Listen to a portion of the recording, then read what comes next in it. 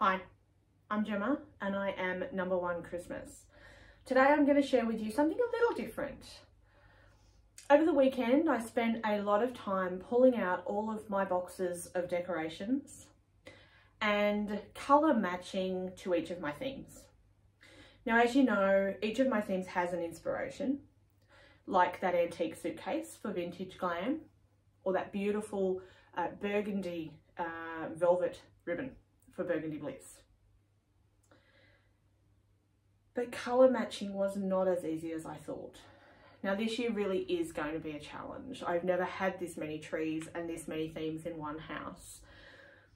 Tying them together I knew was going to be the challenge, but I didn't realise how hard colour matching was going to be. There are so many shades of green and red and gold. So after a couple of hours of getting somewhat there, I decided I needed a base. So I sat down and said to my better half, "I've got to put up a tree. The side look I got was not one of surprise, probably one that was like, well, I thought you were going to say this a lot earlier than now, but I'm not entirely crazy. I'm not about to put up 28 foot trees in my house. It is only July after all. So what I'm going to do is put up a base tree for each colour tree. Have them fairly inconspicuously upstairs so no one can see them and work on perfecting my theme so I know how many items and what sort of colours are going in. Now, you might ask why I need one of each base tree. What's that about? Well, the colour of your tree makes the base. And whilst I don't have black trees or red trees, I have different shades of green and they're going to make the colours look very different. So the one behind me, this big one is a flocked tree. Now you can see it has the green, but it is very white. Now, most of the trees I have are just your basic green, so that's okay. But then I do have a couple of trees like this, which are more of that bluey green um, uh, colour. So in order to make sure that each of those colours is going to work on the right colour base, I need to have one of each tree. So I thought, what am I, what am I going to show everyone this week? Why don't I show you how I put up a tree? How I fluff each of the branches to make it look as full as it possibly can and how I put the lights on. Now I do light a tree in a couple of different ways. Um, but this way that I'm going to show you today is probably the most common way that I do do it. So we're going to start with this tree, which is going to make the base uh, for one of the themes I'm going to share with you very, very soon. It's a fairly inexpensive tree. Actually, it's a really inexpensive tree. It cost me less than $50. I purchased it from Kmart on a whim last year on the way to the office. I had inadvertently put up the office tree in the house so I needed something else to put up in the office. Now, it's a six foot tree, so it's not huge. It's not very wide, but it only has 662 tips. And it's never going to look like it does on the box. It's just the honest truth. If you buy a tree at this price point, and expect it to look like it does in the box, you're probably not going to get what you're after. You really do need to keep going up in price to find something that looks like the picture. Now, in saying that though, you don't need to pay a lot of money for a tree. This tree, you're probably going to hardly see the actual tree by the time I'm finished with it. This one behind me, however, which costs a little bit more money, I don't fully decorate this tree. You can still see the beauty of the tree. So keep in mind what you're going to want to see and what you're going to want to use your tree for and just how many decorations you're going to want to put on it. Because that's going to give you an indication of just how much you need to pay for your tree. So, are you ready? Let's go. So, where do we start? Now, this is not a hinged tree and it's not a hooked tree. So a hooked tree is one where each of the branches has a tiny hook um, and they're color coded uh, as to the size. you hook them in and you take them out to put your tree down. Now a hinged tree actually has a hinge which bends up and stays up.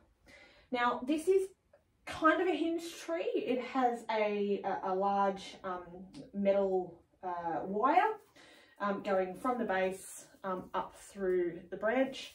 Um, they are fairly sturdy. You can maneuver them where you want, uh, which is good because as I'll show you later, you can uh, you can fluff out the branches um, to make it look um, uh, full. You can also maneuver it into a corner. So one of the tips with some of these more cheaper trees um, is that you can actually move the branches around.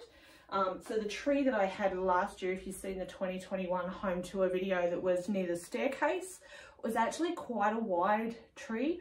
But to make it look full and to get it where I wanted it, I actually maneuvered the branches so that at the staircase, it was actually almost flat at the back. Now, before I get going on these branches, I'm going to put my gloves on. So a tip I learned, unfortunately, a little too late last year was that you need gloves. If you are going to fluff this many trees and this many garlands and this many wreaths, your hands are going to hurt.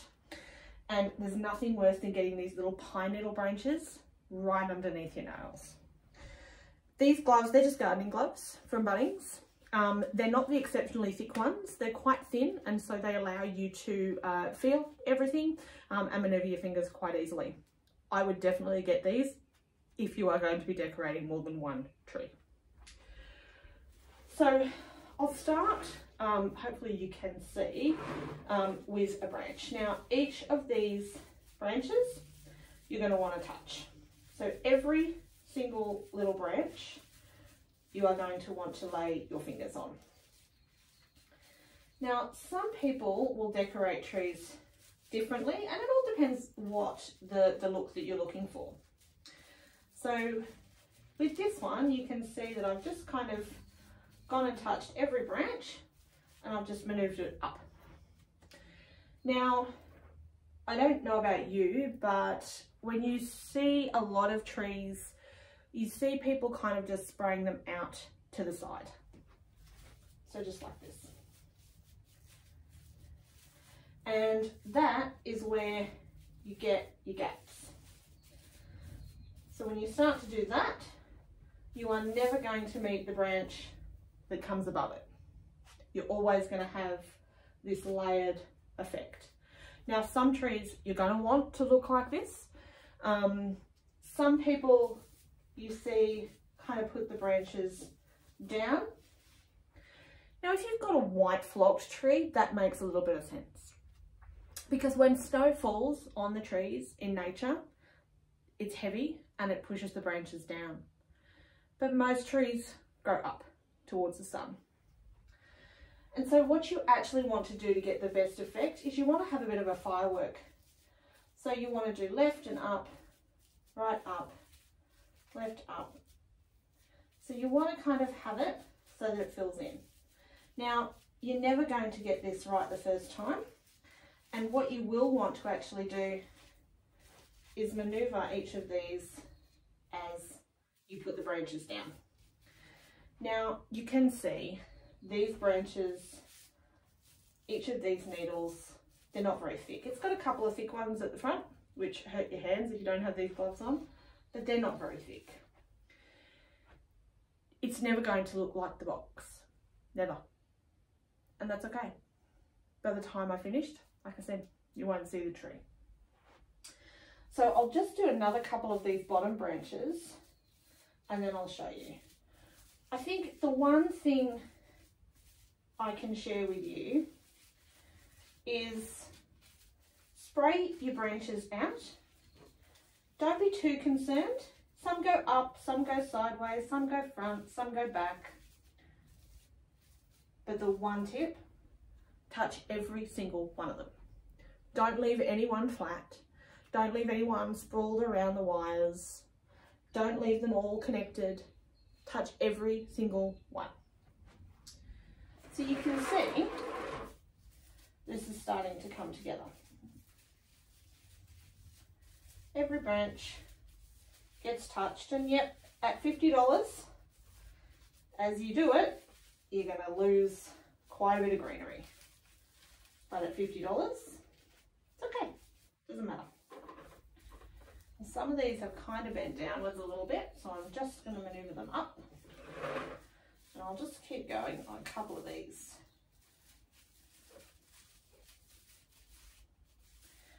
Now, I am not going to make you watch this entire video of me fluffing a tree. I mean, that would just be unkind. So what I'm going to do is show you how I do it. And then I'm going to speed the video up a little bit. What I want to do before we get to speeding up is show you how I light the tree. Now, to light the tree, I've got a giant ball of lights. Now I will always start in the centre of the tree with the string at the end of the light. So I'm just going to pop the cord down there. And I will use two of the branch tips just to twist and secure the light into place. Now what I'm actually going to do here, once I get everything untangled, is manoeuvre them in and out of these branches.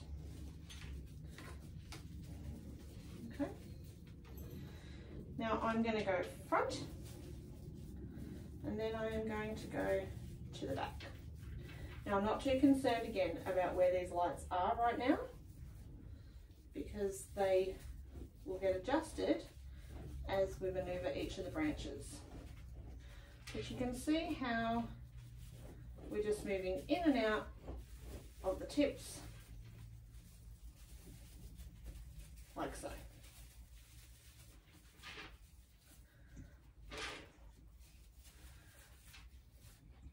Now what I'm actually going to do is show you, let bring these next two down just in front of me here and just show you because of the wire on this tree you can actually bring them down in the angle in the gap between your bottom two uh, branches. So what that's going to do is start to fill the gap. And again, you just go up and out for each one of the tips. And then at the end, you actually want to kind of have a bit of a firework effect and the bottom tips kind of poking up. And again with this one.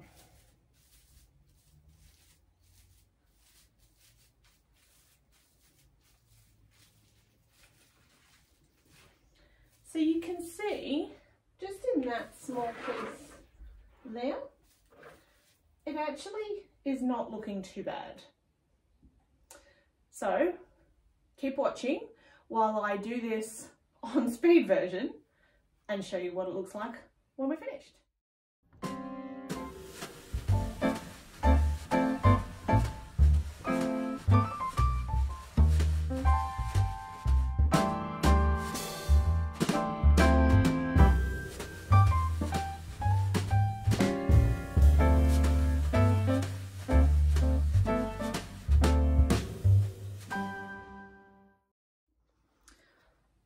Okay, so quick pit stop. You can see there's a lot of holes in this tree. Um, once upon a time I would have been worried about that, um, but at the moment I'm not because it's actually going to help me to secure quite large items, which you'll see in the coming months. I wanted to do a pit stop just to show you the bottom of the tree, sorry, the top of the tree, I should say.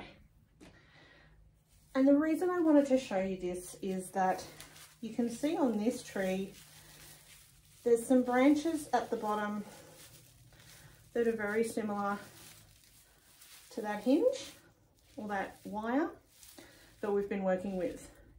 But at that point, that stops and you actually start to get these individual tips.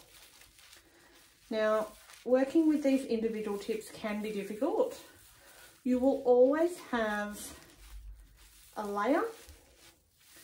So if I show you, you can see there, that's one layer. You can see there's a gap and then you'll have another layer. So these I usually kind of face upwards a little bit, bent around and face up. As I said, again, tree grows up, goes towards the sun, unless of course it's got snow on it and this tree doesn't. So stay with me while I put the top on.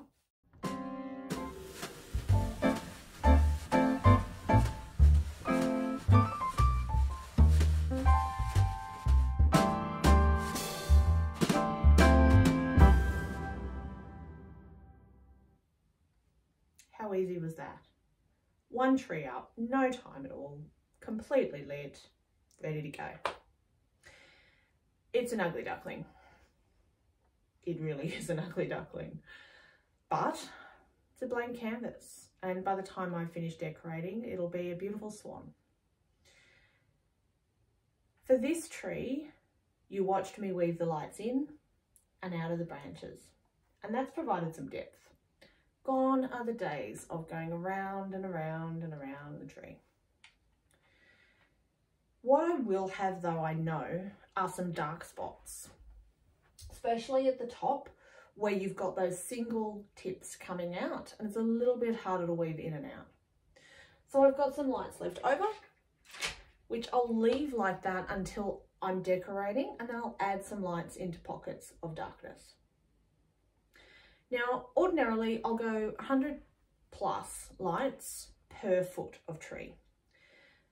But for this string, I've only got 480 lights in total. And because the tree is so thin and the tips are so thin, it doesn't need a, a, a lot of lights on. But if I get to a point once it's decorated where I need more, then I've got more red green lights or even other colours that I can add what I want to show you really quickly is how to fill some of these holes. Now, I'm not too worried at the moment. Um, you can see these quite large gaps and I'm not too concerned because as I decorate, it's going to uh, reduce those significantly. But I just want to show you how easy it is. Now I've got these oversized baubles. Um, I've got multiple. Um, you can purchase these from Costco. Uh, Bunnings also has them, but they usually sell out fairly quickly. Um, now, what I want to do is I don't want to hang it off the tree like this. I want it to actually sit in the tree. And so a tip that I don't know what I did before I learned this. Tip I got from Gina Loves Christmas is to use wire on all your ornaments. Why did I ever use the little uh, ties that came with the ornaments? I don't, I don't know. So I've just got like an 18 gauge floral wire and I'm going to actually wire it straight to the branch into the heart of the tree because what I want to see on this ornament is this piece. I don't want to see this, I want to see this. So we're going to go straight in here and I'm going to be cautious I'm going to go to the bottom and pick a branch.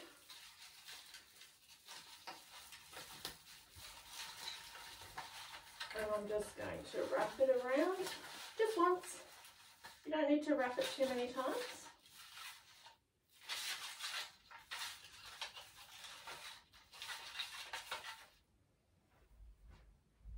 And you can see that's filled that hole quite nicely. I'll show you another one just a green, ordinary bauble, okay? And so we're going to find another gap, another hole. We'll go over here and we'll just have it, again, just the once. Just like so. So you can see, you're already starting to see that come together and already we're seeing those gaps get filled. Now, as I add ribbon, as I add other items, more of these large baubles um, and other picks, this tree will come to life. So if you're interested in seeing just how it comes to life over the next couple of weeks, please keep following these videos. Follow Number One Christmas on Facebook or Instagram or subscribe to our YouTube channel. I'm really loving sharing my decorating tips and the progression of planning for Christmas 2022 with you and I hope you're enjoying it too. If you would like any tips or there's something in particular you want me to decorate or show you, please send me a message or comment on one of the videos. I'm always looking for new challenges. So this tree and this theme, not telling you what it is yet, will come to life over the next couple of weeks. Thank you very much for joining me again and I hope to see you again soon.